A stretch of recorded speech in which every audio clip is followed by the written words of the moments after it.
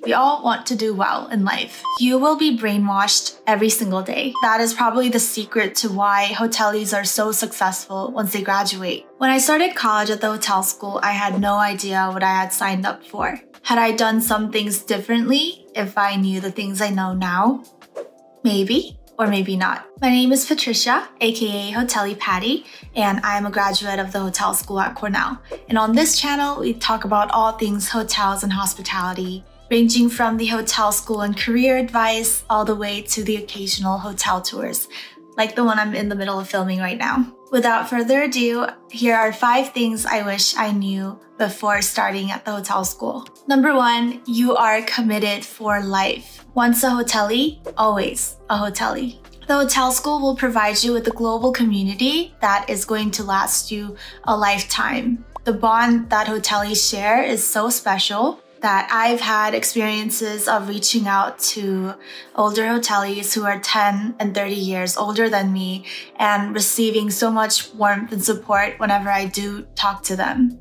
They will almost greet you like you have been family friends for forever because these older hoteliers too had the experience of talking to students that came before them and having a positive experience whenever they were networking or connecting. So it is a beautiful cycle that hoteliers are creating, and the bond is one of a kind.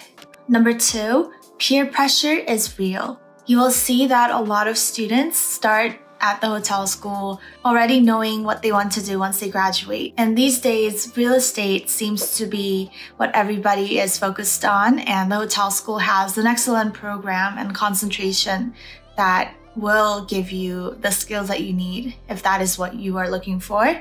Now, for the rest of others, we may also feel the pressure to go along the path that all of our peers are going. Peer pressure is a thing, and for a while, I also convinced myself that real estate was something that I was passionate about. So for an entire year, I did go through recruiting for real estate companies. I think I must have done 15 interviews and I did land two internships, both of which were canceled due to COVID. But it was a great experience in the sense that the interview process really gave me that insight and showed me that it wasn't the path for me, even though all my friends were going into it. Whatever decision we make, we have to remind ourselves constantly that our decision is our own and we don't need to be afraid to be an outlier. This is not to say that choosing a more traditional or a more common path within hospitality is a bad choice. The point I want to get across is that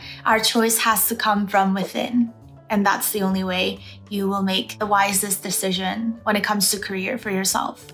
Number three, FOMO will happen. Hoteliers are very busy people, heavily involved in extracurriculars outside of the classroom. When I looked around, all of my friends easily committed themselves into four, five, six different clubs, fraternities, and organizations. Now, why do we keep ourselves so busy? I think the whole purpose is that we want to do better at school and develop our careers to set ourselves for success once we graduate. That is probably a common desire for each and every student at the hotel school. We all want to do well in life.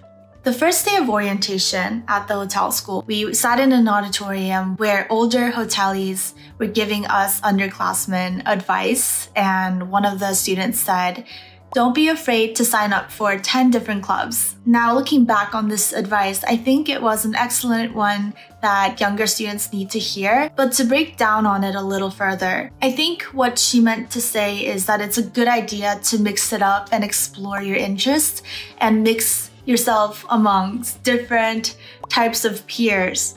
But sometimes students can take it far and take it as a sign that you need to max yourself out completely all the time. And that is something that you should watch out for. First semester or your first year, you'll want to try everything out, and I think that's an absolutely great idea.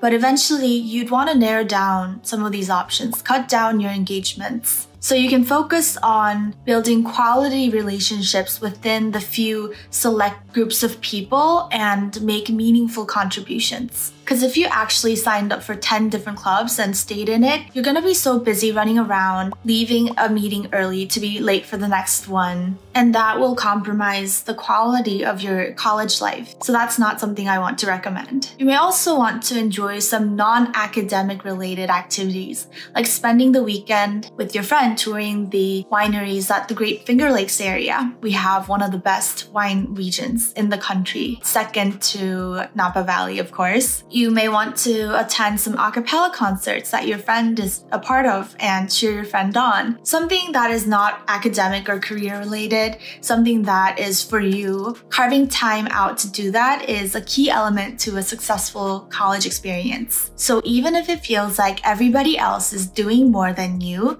and you feel like you could be doing more and better, find your own pace that is fulfilling for yourself, that is sustainable, and ultimately makes you happy. And to that end, I do want to mention that we're all built different. Some of my friends were just wicked smart, could operate on four hours of sleep every night, and manage six different organizations as presidents while still being able to ace the test that they studied an hour for, whereas it took me 10 hours to study for. At one point, you just have to learn that there will always be people doing more and better than you, but the important part is to find peace within yourself, and life is not sometimes fair that way. Like, I'm someone who requires quality eight, seven, eight hours of sleep and cannot operate the next day if I pulled an all nighter. I don't think I've ever tried to pull an all nighter ever during college, but some people do it and they still are fine in the short term. The bottom line is find your own pace.